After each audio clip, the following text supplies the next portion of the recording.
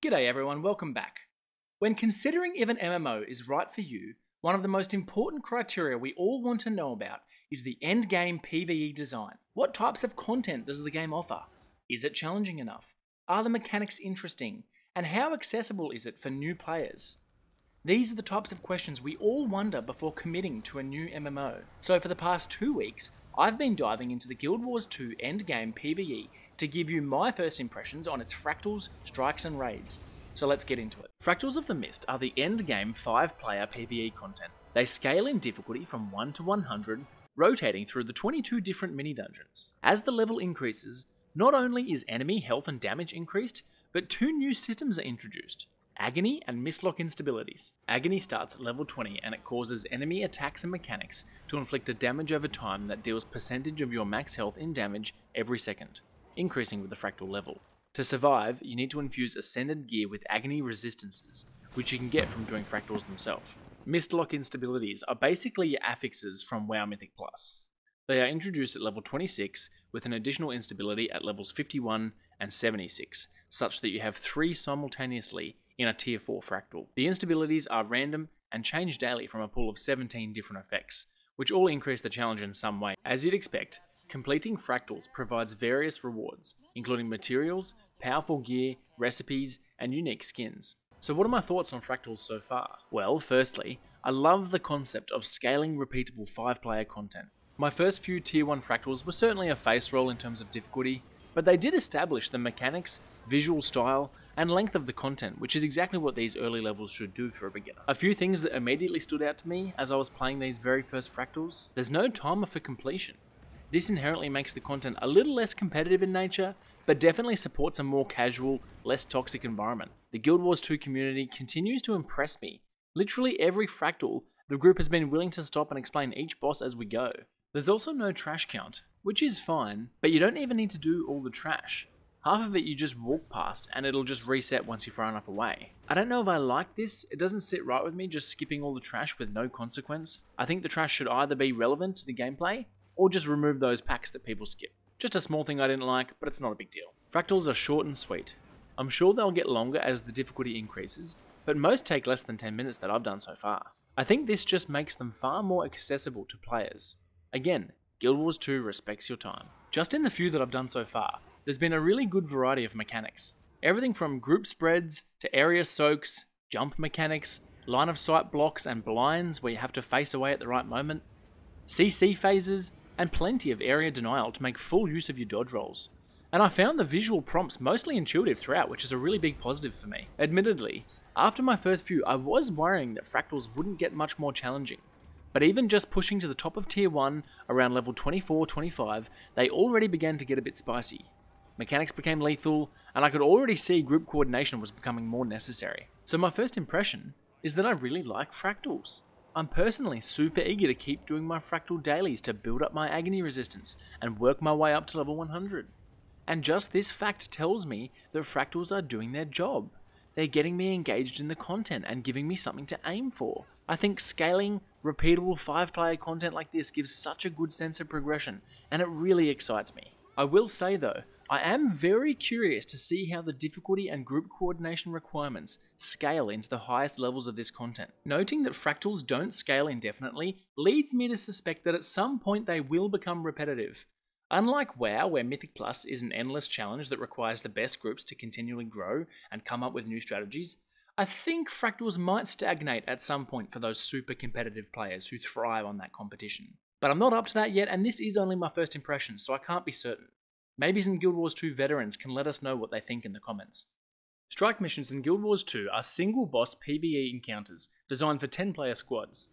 My understanding is these were intended to bridge the gap between open world bosses and raid encounters, introduced predominantly in Icebrood Saga and End of Dragons. There were 7 released in Icebrood Saga, and another 5 in End of Dragons, though one of them, Old Lion's Court, is set in the Living World Season 1 story. These are available in two difficulties, normal and challenge mode although challenge mode is only available for the 5 End of Dragon strikes. Now I wanted to have a really authentic beginner experience, so without looking up guides or walkthroughs, I opened up the group finder and I dived in somewhat blind. While I mention it, the group finder was generally well used and populated in the strikes part. One thing I did notice though, is that you don't sign up in the group finder.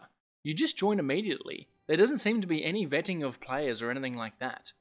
And everyone seems fine with this, which was really interesting to me.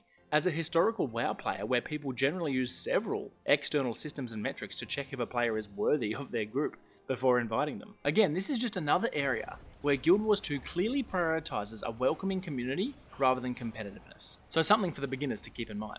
So I dived straight into what was being advertised as the IBS Easy 3, and again this did worry me a little because they were definitely easy.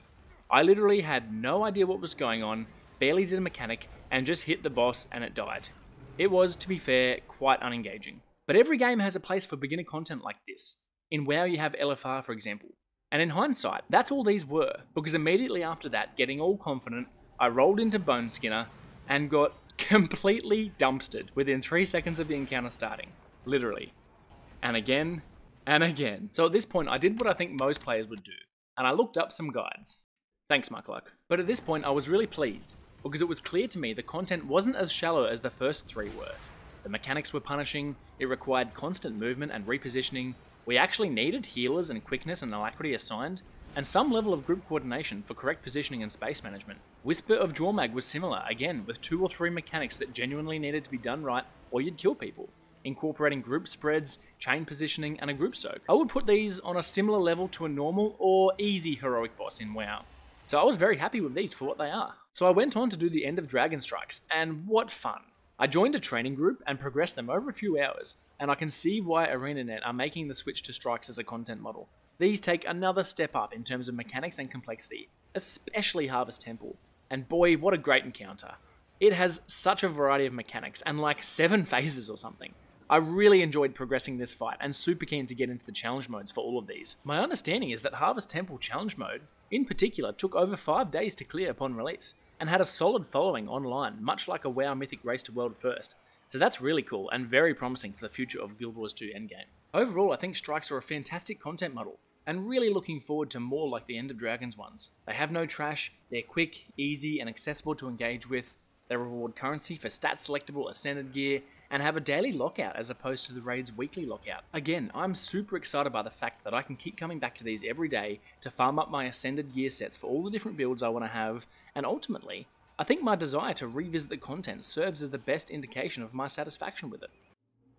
Raids are 10 player content designed to be the highest challenge in Guild Wars 2. Seven wings in total have been released across Heart of Thorns and Path of Fire, each with 3 to 4 bosses. I'll be honest, coming from WoW, I had heard a lot of negative talk about Guild Wars 2 raids. People saying, you know, Guild Wars 2 has no endgame. Raids are terrible, boring, too easy, you get the idea. But I'm pleased to announce that is not the case. Unfortunately, I did find the group finder to be quite dead for raids, it's clear the community doesn't engage with these as much as strikes and fractals, so I joined a guild and signed up for the two weekend training raids. About half the raid were complete beginners, and I actually had so much more fun than I expected. We did Wing 4 during its Embolden week, which means the raid had a 50% health and damage buff after 5 wipes. This in itself is a good system to encourage new players to try raiding, similar to LFR in WoW. The Wing had a fairly natural progression curve, the first two bosses were relatively straightforward and they only took a handful of pulls each. Cairn the Indomitable had some dodging, safe zones, and the red agony circles that required some basic group awareness and positional decision making. Nothing complex, but appropriate for a first boss. The Mursaat Overseer was this interesting checkers board style boss, with lots of area denial and some priority adds. The boss did add some more individual responsibilities though, which was nice. Three players in this fight have special roles relating to tanking the boss, the adds, and controlling some of the safe zones. I'd compare both these first bosses to nothing more than a normal raid boss in World of Warcraft. I think they only took two or three pulls each. The third boss, Samarog, took a good step up though, taking us probably 10 pulls or so to kill. This fight was far more engaging than the first two. It required constant movement to avoid the many frontals, it had a jump mechanic, a duo stack mechanic requiring some quick coordination from two players, and some more area denial. The most interesting part for me was probably the first relevant CC phase I've seen yet, where the boss would fixate a player and kill them if the Defiance bar wasn't broken in time. This actually required a few of us to change up our build to have more CC, and pay attention not to just use our abilities mindlessly. Then there was a whole other ad phase requiring some ad control to progress, though I think I got carried through that as I wasn't really sure what my guild was even doing. Overall though, I really enjoyed this boss, cool encounter, and a clear step up from the first, which I appreciated. And finally, Deimos.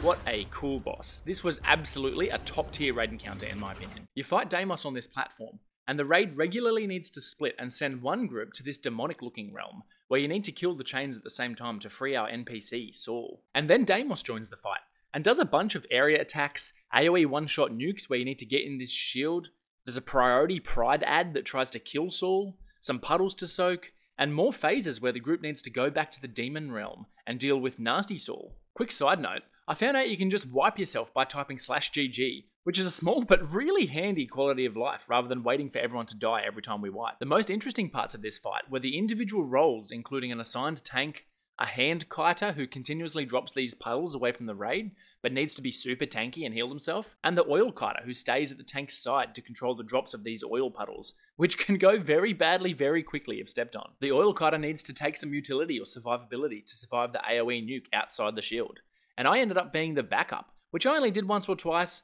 but I needed to take the Signet of Stone and a bear as my off pet to do this, which was cool. And then finally at 10%, we portal back to the Demon Realm to finish him off. Just a really epic fight overall, I thought, and I had so much fun progressing it. Deimos took us probably 30 or 40 pulls at least to kill, and we actually needed to come back the next day to finish him. And this was even on the Emboldened week, where we had 50% HP and damage buff, so it's even harder on normal, let alone challenge mode. Just the fight I progressed, I'd compare to at least a mid-tier heroic boss on WoW, and on challenge mode, I can imagine it might be similar to an early tier mythic boss even. Overall, the raid definitely exceeded my expectations coming into it.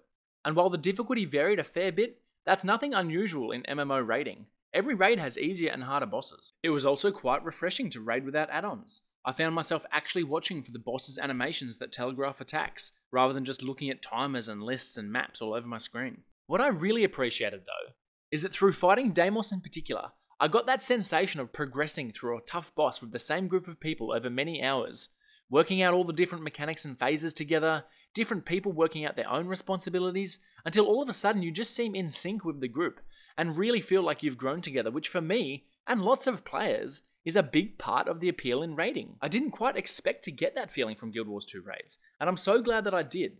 I've already signed up for the next raid, and I'm keen to continue clearing the rest with my guild, and step up to some challenge mode. So what are my first impressions on Guild Wars 2's endgame PvE? Well, it has a decent variety of instanced content, including 5-player, scaling and repeatable content in fractals, 10-player single boss strike encounters daily, and 7 raid wings weekly for those who want even more. It certainly has a great variety of engaging mechanics and encounters, albeit quite a lot of variance in the difficulty, but that's not necessarily a bad thing Easy beginner content has its place. Does it have those really top tier encounters for hardcore players that take many attempts for organized groups to progress? I think between challenge mode encounters like Deimos or Harvest Temple, definitely. But is there enough of that? Uh, maybe not.